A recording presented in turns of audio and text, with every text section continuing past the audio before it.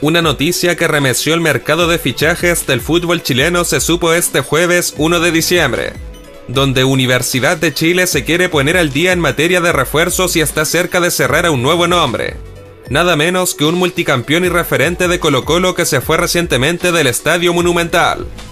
Se trata nada menos que de Matías Saldivia, defensa central que acaba de quedar libre luego de no ser renovado en el cacique quien rápidamente encendió el interés de la U para potenciar la última línea a la que ya se incorporó el lateral derecho Juan Pablo Gómez.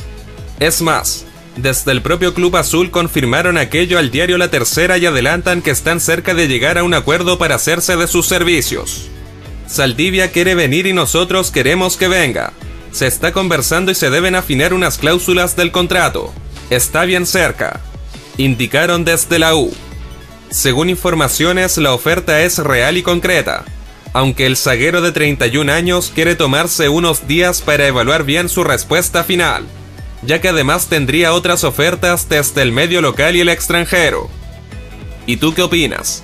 Déjame tu opinión abajo en los comentarios.